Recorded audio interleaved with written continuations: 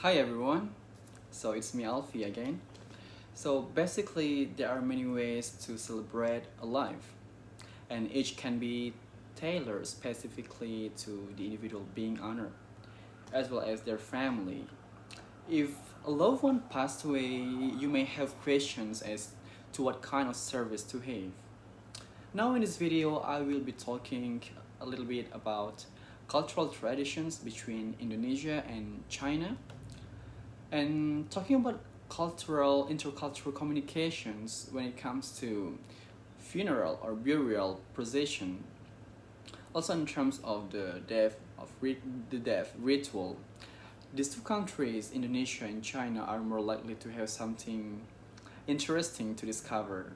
Just like the popular saying that Chinese people believe that funeral customs and traditions must be followed strictly or else bad like maybe fall to the family. And in the meantime, Indonesia itself, since it's an archipelagic or Nusantara country, the practice may be a little bit different and dissimilar from one place to another. And of course, certain, fa certain factors such as spirituality, nature, local wisdoms are the influential things through these burial traditions. Yet they are all seemingly fascinating, interesting, and also attracting to the world's attentions in history. So first of all, to begin with, I'm going to talk about the funeral ritual in China.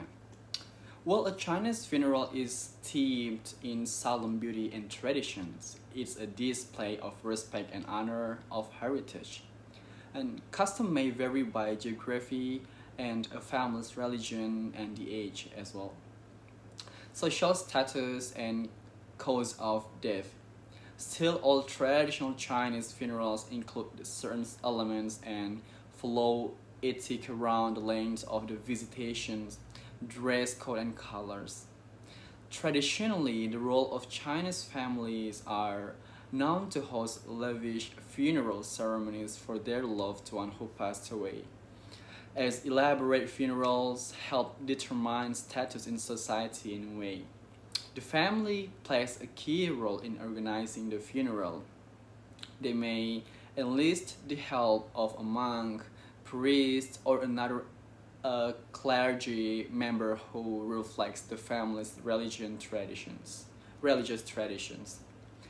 And the traditional uh, mourning period called Saosang Saosang in is one year and for the first burn uh, for the first bar burn son up to the three years.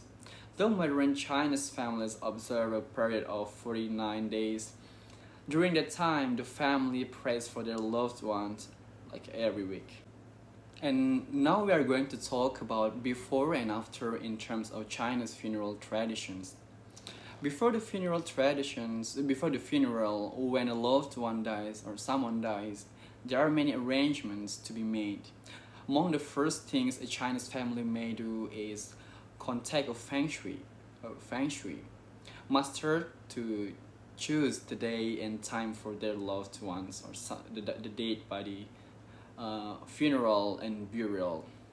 If a, if a grave site hasn't already been chosen, they will ask the Feng Shui master to help them choose cemetery property with location and orientation in mind. Often on a hill and never under a tree. It's common for Chinese family as well to honor their loved ones, somebody who died, with three days of visitation before the funeral. The loved one who will, will be dressed in his uh, or her best clothing or a traditional white burial robe. Only loved one who lived to be 80 or older can be dressed in red or other colorful clothing. If facilities allow, the family may choose to stay with their loved one overnight, even preparing meals on site, and this is called 守夜,守夜. Now we are moving to the funeral. At the end of the visitation period, the casket is sealed. If family members are present, they will turn their backs because they believe that the souls of the people who see the casket um, being closed will, will be trapped in the coffin. Likewise, at the graveside, family and friends turn their backs on the, on the casket as it is lowered into the grave.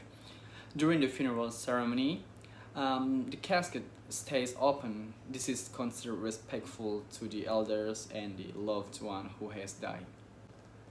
And now another important thing is the flower. China's funeral flowers, white or yellow, are most often used for China's funerals as white uh, chrysanthemums symbolize grief. The white iris is traditional for families from certain regions of China. However, in the China of an elder who lived to be 80 or older than that, red flowers and often a red casket interior will be chosen.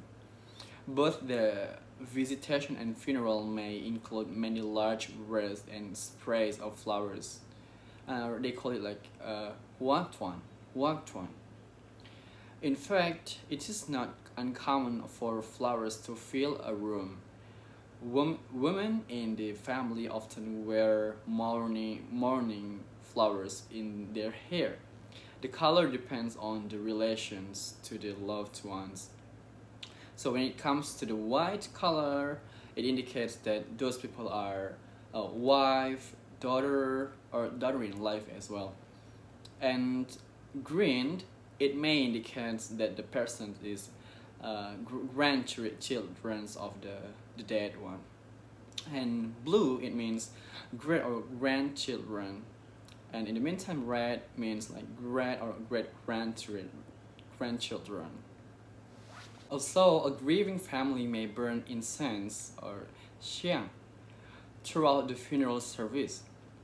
They may also burn just pepper or xiangqi, also known as a ghost or spirit money, though it's often also pepper houses, cars, and other objects.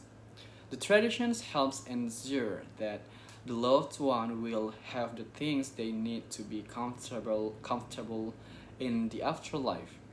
The family may also burn incense or just pepper money at the graveside ceremony and upon returning to the gravesite after a few days later.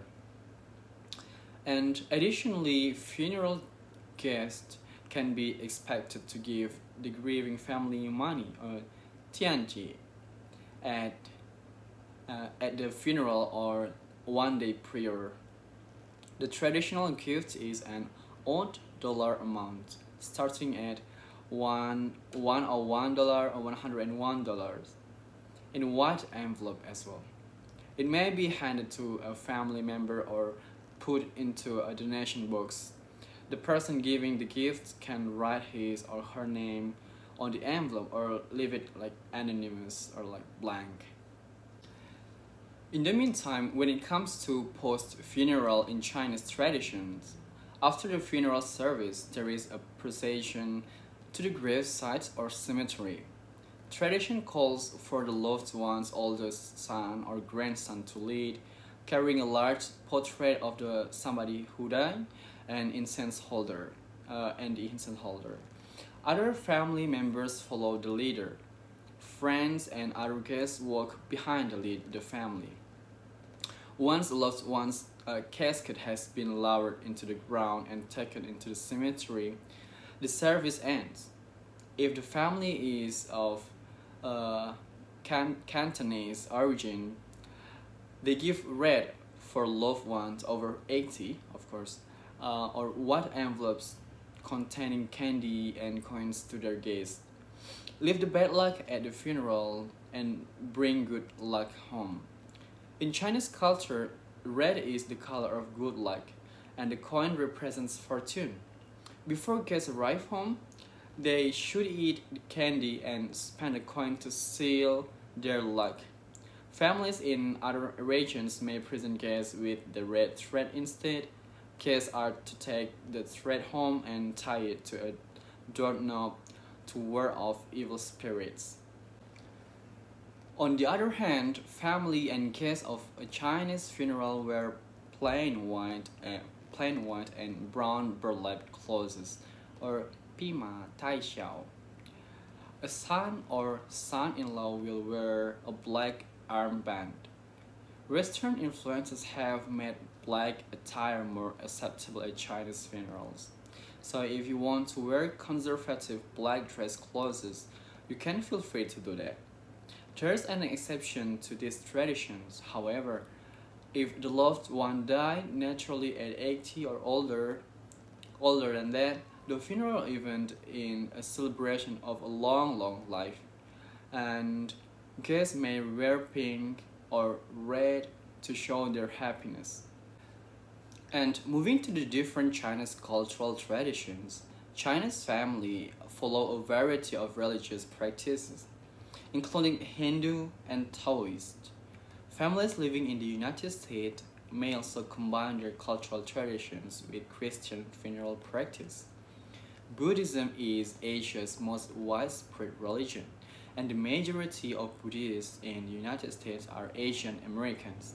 So Buddhi Buddhist funeral customs vary, but it's common for Buddhist service to include an altar with a portrait of their loved one, where friends and family can bring offerings of candles, incense, flowers, and fruits. A Buddhist service may be pray may be presided, presided over, a by, over by a monk. And an image of Buddha could be placed near the altar. Chanting, uh, Zongting, is the most important aspect of Buddhist funeral as it helps ensure the loved one reaches enlightenment in death. How about the witness cremation in Chinese tradition? Chinese people equally accept casket burial, casket burial or cremation, so these both are acceptable.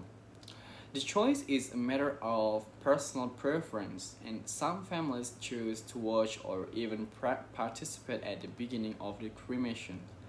During a witness cremation, watch, uh, which is also called a cremation viewing, family members are brought in, into the cemetery to watch as their loved one or the day, their family who died uh, is moved into the, into a cremation chamber.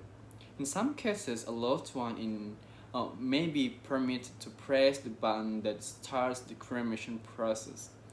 Not every funeral home or cemetery is set up to accommodate a cremation, a cremation viewing, but it is becoming more common if this is important to your family. Be sure to bring it up early in funeral planning processes. So that's all. That's all about Chinese funeral practices. So what do you guys think? And now we are moving to Indonesia and all about the burial traditions in it. Since Indonesia is also consists of nu numerous cultural practices, not to mention that religion is an integral part of Indonesian people. From many traditions when it comes to funeral service in Indonesia, one of them is called Rambu Solo, performed by Torajan people in Toraja or Tanah Toraja. Rambu Solo is a traditional funeral ceremony which aims to respect the spirits in, uh, in returning to the immortality life, Im immortality life with their ancestors. In a custom that many of us find shocking, the Toraja people keep their dead relatives and at home, feeding and cuddling them their bodies. Then, when they are finally buried, they dig them up once a year for a celebration. In a mountainous area of Indonesia, the Toraja people which they their origin is from Sulawesi, Sulawesi province, mummify the bodies of the deceased and care of their preserved bodies as though they are still living.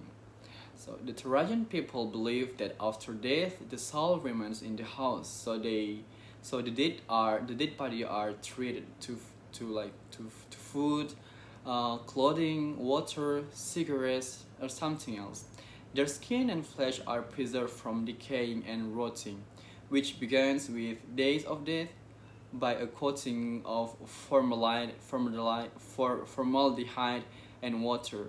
The stand is strong, so the family store dried plants beside the body to mask the, uh, the odor. For the community as well, preserved body brings good fortune, so family go to great lengths to ensure those who have died remains in the best possible shape. Torajan's people learned from a very young age to deal with death, and this is may uh, may have them to accept it is as part of their journey of their life. Talking about the majority religion in Indonesia, is Islamic in Islamic tradition, the funeral service is a bit different to Chinese or even some other local practices in Indonesia, as Islam is one of uh, is, is Islam is the majority religion in Indonesia. The Islamic faith has a strong belief in the afterlife. Muslims follow the principle that the way a person acts throughout their life will determine what happens to them after they, after they die. If they perform good deeds and follow Islamic religious codes, they will be re rewarded with entry, with, with entry to paradise or heaven on the day of judgment. On this day, Muslims believe the world will end and the dead will experience eternal peace. So paradise or eternal suffering, which is hell. How does Muslim funeral works? Islamic funerals are extremely spiritual events and central to Muslim communities. In addition to offering comfort for the grieving, a Muslim funeral service provides an opportunity to pray to Allah or the Islamic God to have mercy on the deceased. Immediately after the death of a loved one, somebody dies, their eyes and mouth are closed, and the funeral and the body is covered with a white sheet. According to the set of funeral rites and rituals, the body is washed three times by close family or the family members of the same sex. So these actions we call ghusl. The body is then positioned with the left hand on the chest and the right hand on top of it. So like this before being uh, shrouded with large white sheets and tied with ropes. So this kind of a cloth we call it kafan. Since Muslims believe in the physical resurrection of the body after death, the faith prohibits cremations. Additionally, although autopsy is usually forbidden in Muslim communities, they believe it desecrates the body. Organ donation is generally accepted as it can help save lives. So what actually happens in Muslim funerals? Firstly, mourners will congregate at the mosque or masjid to recite Salat al-Janazah or special prayer to the dead one. The Islamic funeral prayer which seeks pardon to the deceased and all dead Muslims.